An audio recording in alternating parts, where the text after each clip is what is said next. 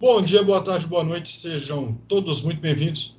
Rodrigo Orso aqui junto com a Arthur Rossi para a gente trazer para vocês um review, para a gente dividir a nossa experiência de um terrorzinho, daquele filminho do bicho vindo, daquela coisa que agrada de uma outra forma.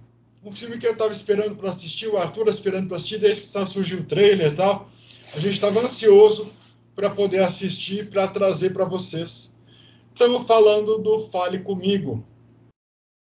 O Fale Comigo, que é uma reinvenção, é uma releitura das tábuas de Ouija, do jogo do copo no Brasil. É uma forma de se entrar em contato com o outro lado.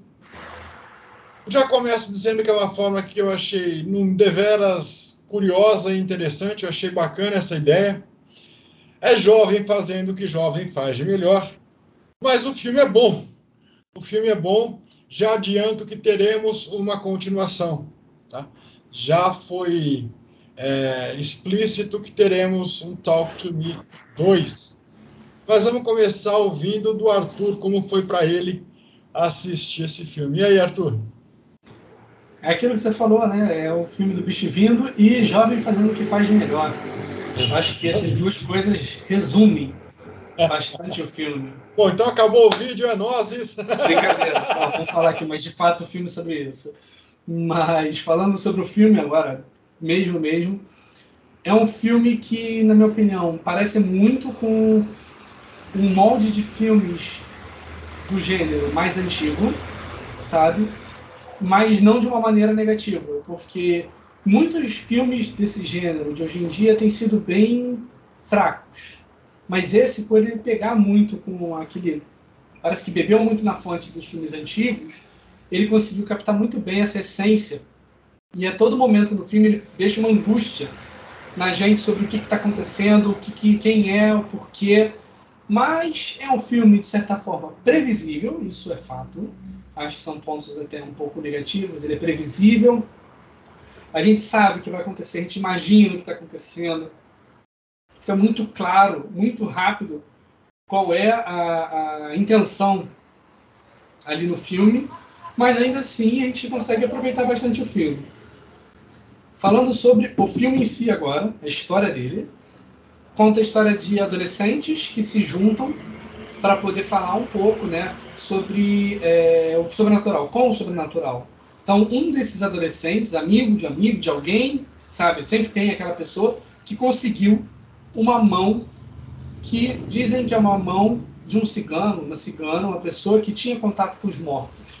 E aí essa pessoa, sei lá o que aconteceu, tiraram o braço dessa pessoa, a mão, cortaram aqui assim, e passaram uma porcelana em volta. Então é uma mão que ela está no formato até aquela pessoa que aperta, a pessoa que aperta a sua mão, e ela fica assim colocadas, colocam em cima da mesa, sem nenhuma vela, e você pega na mão e aí você fala, fale comigo, né? Talk to me. E aí uma entidade vai aparecer. E aí você olha para essa entidade e ela sempre vai ter uma aparência meio bizarra, uma aparência meio suspeita, meio estranha. E aí você convida essa, essa entidade a entrar em você. Fala, pode entrar. E aí ela entra, né, te possui e aí coisas acontecem, porta bate, é, você paga um mico porque você faz determinada coisa, só que você está possuído e você não sabe. E aí coisas vão acontecendo. Aí depende de quem faz, como é que faz. E toda a premissa do filme, toda a história do filme é construída em cima dessa ideia. E aí é, é uma menina é, entra em contato, mas tem uma regra.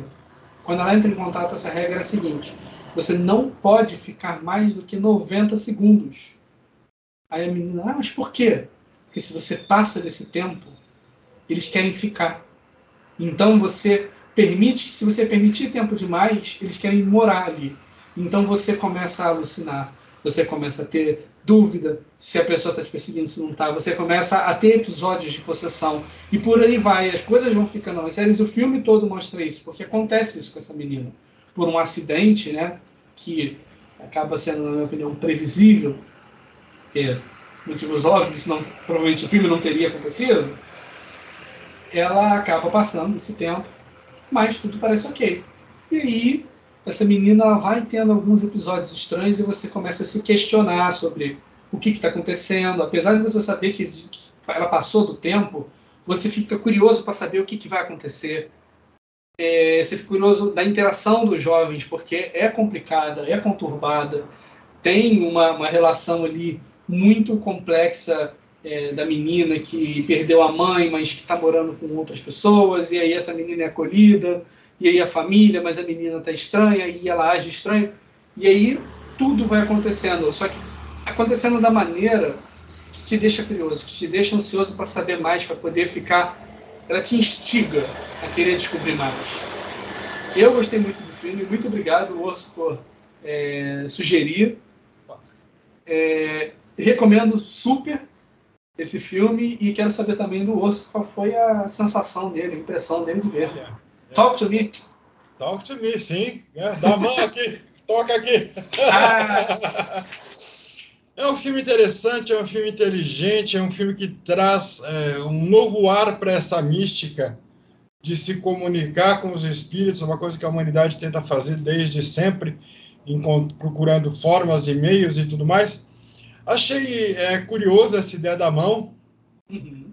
E aí o, o Arthur colocou é, essa pessoa que quer passar pela experiência, ela é amarrada na cadeira é feita a amarração dela na cadeira, aí ela tem que pegar na mão, tem que visualizar a criatura, convidar a criatura para entrar.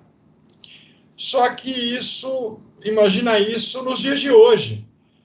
Um monte de jovem é, já com o tanque meio cheio, com um monte de celular filmando tudo, e tudo é uma baderna, é, tudo é uma zona, é uma festa. Imagine que vocês convidam espíritos aleatórios para uma festa de adolescente. É isso que acontece. E aí vários passam por várias experiências, alguns se dão muito mal. E essa menina, como ela perdeu a mãe recentemente, fazer esse link com o outro lado para ela é importante, porque ela sente falta da mãe, e não sei o quê, não sei o quê. Quando ela passa desse tempo máximo estipulado, a criatura que está nela percebe isso. E aí começa a se apresentar para ela como sendo a mãe. É a forma de eu coexistir, então eu vou perturbar essa menina. E aí, como ela não fechou o link, como ela não encerrou da forma correta, ela manteve a porta aberta e aí isso vai consumindo ela ao longo do filme. É uma menina bacana, uma, uma jovem comum, uma jovem. Ela não é, é merdeira de forma nenhuma, ela é uma jovem comum, bem comum, que está passando por um momento delicado. Então foi é, a pessoa errada na hora errada, por isso que as coisas aconteceram como aconteceram. Eu também achei previsível, eu conversei com algumas pessoas no meu Instagram que não acharam previsível, que foi um puta plot, que a pessoa. Então varia muito da experiência pregressa que você tem, do quanto de filmes desse tipo você já assistiu e de como está a tua expectativa, a tua imersão na história. Então, é, de um jeito ou de outro, é interessante assistir. Como eu disse antes, vai ter um dois. Eu acho que até cabe um segundo filme, é interessante, vai ser bem bacana ver como eles vão seguir com essa mitologia, como eles vão talvez explicar um pouco de onde veio aquele braço tal. Eu gostaria de ver um pouco de, de como isso começou. Assistam Talk to Me. Agora, não pode entrar, Arthur. Não, não obrigado. É, não pode entrar. Já deu os nossos 90 segundos. Mais alguma coisa, Arthur, você quer complementar? Não, não, você falou tudo. Nozes, valeu! Valeu!